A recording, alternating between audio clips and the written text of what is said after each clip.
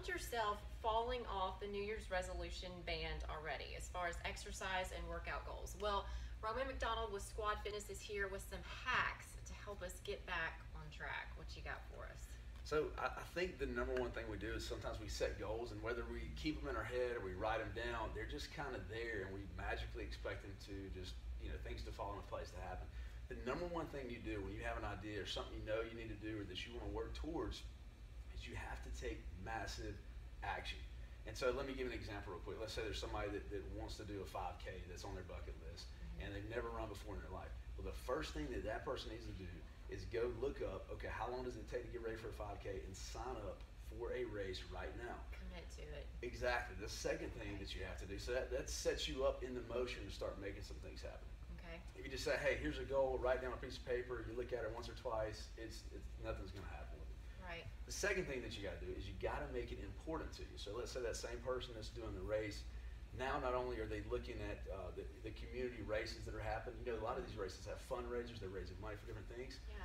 So not only are you saying, you know, I want to do this run for me, you can say, hey, uh, you know, make it important to you by whatever they're raising money for. I'm not just running for me, I'm running for this cause as well. Right. Okay. That's a great tip. So now it's not just, uh, it's something I want to do, it's something that, that's more meaningful to, to yourself. Okay. What about those people that January rolled January first rolled around? I'm gonna eat better. I'm gonna eat cleaner. How do you get back on that band? And then you just slip off after a month. Like, oh, it just work got hard. The kids are busy. Let's just run through the drive-through. What do you have get back on track food wise? Well, I, I find out one of the, one of the biggest reasons why people fall off the map is that they're usually not tracking their progress. Okay. And a lot of, and what I mean by that is a lot of people just use the scale as their end all be all measurement of progress. Yeah. And really, there's all types of progress. So if you look at, at, at like business, you know, there's all these numbers you have to know. You have to know revenue, profit. If you just ran it by the revenue, you'd really have no idea what's going on.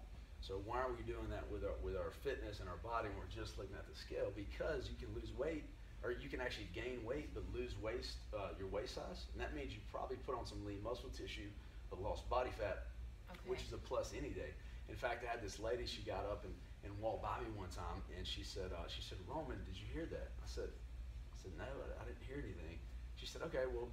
Uh, Walk by me again. She said, "Did you hear it that time?" I said, "Susan, I have no idea what you're talking about." She said, "Let me do it one more time for you." Now listen real close. And the same thing happened. And she and I said, "Susan, I didn't hear anything." She goes, "Exactly." She said, "Uh, "My inner thighs aren't rubbing together."